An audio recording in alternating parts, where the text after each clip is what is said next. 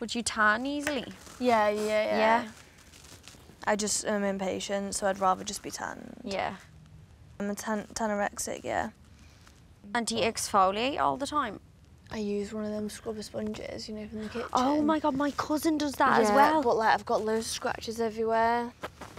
That was Brillo bad one. Like that was Yeah. pretty. Yeah. When did you start using? Tan. Hmm. At year 10. But it only got quite like obsessive, I'd say, the last year. Really? Yeah.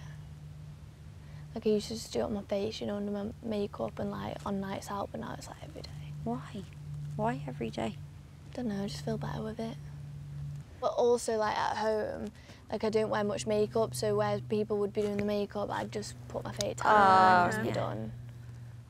I just I feel like it takes me about 20 minutes to put my tan on, right? Yeah. And then like I get in the shower and loads of it runs off and I'm like, oh my god, sake, I have for to do this yeah. all again. Yeah. Like I obviously am very pale, so like I like a bit of tan as well, but it's just such a bloody a effort. Mm. How are you meant to like? How are you meant to do it? Are you meant to wash first and then? Yeah, I'd usually wash, exfoliate, Yes, shave, tan, and then just tan, tan, exfoliate, tan, tan. Some, I don't know. You'll just know. Everybody's different.